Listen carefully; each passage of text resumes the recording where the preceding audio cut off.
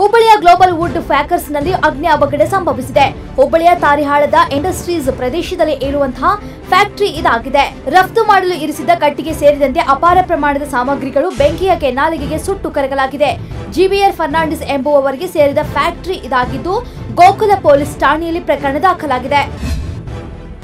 Mahadevapura BBMP ವಲಯದ ರಾಮಮೂರ್ತಿ ನಗರದಲ್ಲಿ ಘನತ್ಯಾಜ್ಯ ನಿರ್ವಹಣೆ ಕುರಿತು ಸಭೆ ನಡೆಸಲಾಯಿತು. ರಾಷ್ಟ್ರೀಯ ಹಸಿರು ನ್ಯಾಯಾಧಿಕರಣದ ಅಧ್ಯಕ್ಷ ಸುಭಾಷ್ ಆದಿ ಹಾಗೂ ಬಿಬಿಎಂಪಿ ವಿಶೇಷ ಆಯುಕ್ತ ರಂದೀಪ್ ನೇತೃತ್ವದಲ್ಲಿ ಸಭೆ ನಡೆಸಲಾಗಿತ್ತು. ಕಸ ವಿಂಗಡಣೆ ಸಾರ್ವಜನಿಕ ಕರ್ತವ್ಯವಾಗಿದ್ದು, ಕಸ ವಿಂಗಡಣೆಗೆ ಸಮರ್ಪಕವಾಗಿ ಸ್ಪಂದಿಸಿ ಕಸದ ಸಮಸ್ಯೆ ನಿವಾರಿಸುವಂತೆ ತಿಳಿಸಿದ್ದಾರೆ. ಮತ್ತು ಕಸವನ್ನ ವಿಂಗಡಣೆ ಮಾಡುವುದರಿಂದ ಶೇಕಡ ಐವತ್ತರಷ್ಟು ಕಸದ ಸಮಸ್ಯೆ ದೂರವಾಗಲಿದೆ ಎಂದು ಸೂಚಿಸಿದ್ದಾರೆ.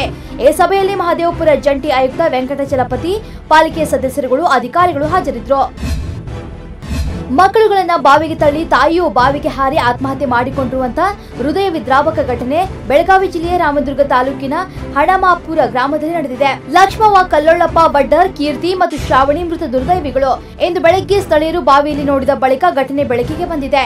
ಈ ಕುರಿತು ರಾಮದುರ್ಗ ಪೊಲೀಸ್ ಠಾಣೆಯಲ್ಲಿ ಪ್ರಕರಣ ದಾಖಲಾಗಿದೆ. ಘಟನಾ ಸ್ಥಳಕ್ಕೆ ಡಿಎಸ್ಪಿ ಶಂಕರಗೌಡ ಪಾಟೀಲ್, ಪಿಎಸ್ಐ ಆನಂದ್ ಡೋಣಿ ಭೇಟಿ ನೀಡಿ ವಿಚಾರಣೆಯನ್ನು ನಡೆಸಿದ್ದಾರೆ. ನಟಿ ಮತ್ತು ನಿರ್ದೇಶಕ ಹಣ ಪಡೆದು ಪರಾರಿಯಾಗಿರುವಂತಹ ಪ್ರಕರಣ ಇದೀಗ ಹೊಸ ಟ್ವಿಸ್ಟ್ ಪಡೆದುಕೊಂಡಿದೆ. ನನಗೆ ಕುಟುಂಬಸ್ಥರಿಂದ ಕಿರುಕುಳ ಇದೆ, ರಕ್ಷಣೆ ನೀಡಿ ಅಂತ ರಾಯಚೂರು ಎಸ್ಪಿಗೆ ನಟಿ ವಿಜಯಲಕ್ಷ್ಮಿ ದೂರನ್ನ ನೀಡಿದ್ದಾರೆ. ಸಿರವಾರ ಪೊಲೀಸ್ ಠಾಣೆಯಲ್ಲಿ ಅರ್ಜಿ ನೀಡಿ ರಕ್ಷಣೆ ಮೊರೆ ಹೋಗಿದ್ದಾರೆ. ಇದಾದ ಬಳಿಕ ಚನ್ನಪಟ್ಟಣದ ಪೊಲೀಸ್ ಠಾಣೆಯಲ್ಲಿ ಮಿಸ್ಸಿಂಗ್ ಕಂಪ್ಲೇಂಟ್ ದಾಖಲಾಗಿರುವ ಬಗ್ಗೆ ಮಾಹಿತಿ ತಿಳಿದು ಬಂದಿದೆ. ಆದರೆ ಈ ಬಗ್ಗೆ ನಾನು ಇಬ್ಬರಿಗೂ ಅಲ್ಲಿನ ಪೊಲೀಸ್ ಠಾಣೆಗೆ ಹೋಗಲು ಸೂಚಿಸಿದ್ದೇನೆ ಎಂದು ರಾಯಚೂರು ಎಸ್ಪಿ ಡಾಕ್ಟರ್ ವೇದಮೂರ್ತಿ ಹೇಳಿಕೆ ನೀಡಿದ್ದಾರೆ. ವಿವಿಧ ಬೇಡಿಕೆಗಳನ್ನು ಈಡೇರಿಸುವಂತೆ ಆಗ್ರಹಿಸಿ ಎಐಟಿಯುಸಿ ಕಾರ್ಮಿಕ ಸಂಘಟನೆ ವತಿಯಿಂದ ಹಟ್ಟಿ ಚಿನ್ನದ ಗಣಿ ಕಾರ್ಮಿಕರು ಉಪವಾಸ ಸತ್ಯಾಗ್ರಹವನ್ನು ನಡೆಸಿದ್ದಾರೆ. ಕಾರ್ಮಿಕರ ಸೌಲಭ್ಯಕ್ಕೆ ಕತ್ತರಿ ಹಾಕಲು ಮುಂದಾಗಿದೆ.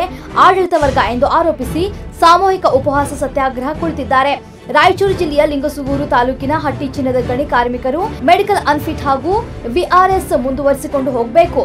ಸಂಬಳ ಇನ್ನಷ್ಟು ಹೆಚ್ಚಿಸಬೇಕು ಅಂತ ಆಗ್ರಹಿಸಿ ಕಾರ್ಮಿಕರು ತಮ್ಮ ಅಳಲನ್ನ ತೋಡ್ಕೊಂಡಿದ್ದಾರೆ. ವಿದ್ಯುತ್ ತಂತಿ ತಗುಲಿ ಎರಡು ಎಕರೆ ಕಬ್ಬಿನ ಗದ್ದೆ, ನಲವತ್ತು ಎಕರೆ ತೆಂಗಿನ ಮರ ಹಾಗೂ ಹನಿ ನೀರಾವರಿ ಪೈಪ್ ಸೇರಿದಂತೆ ಲಕ್ಷಾಂತರ ರೂಪಾಯಿ ನಾಶವಾಗಿರುವಂತಹ ಘಟನೆ ಮಳವಳ್ಳಿ ತಾಲೂಕಿನ ಕಗಲಿಪುರ ಗ್ರಾಮದಲ್ಲಿ ನಡೆದಿದೆ. ಗ್ರಾಮದ ಋಷಭೇಂದ್ರ ಎನ್ನುವವರ ಜಮೀನಿನಲ್ಲಿ ವಿದ್ಯುತ್ ತಂತಿ ಜೋತು ಬಿದ್ದ ಹಿನ್ನೆಲೆ ಕಬ್ಬಿನ ಗದ್ದೆಯಲ್ಲಿ ಬೆಂಕಿ ಕಾಣಿಸಿಕೊಂಡು ಈ ಅವಘಡ ಸಂಭವಿಸಿದೆ.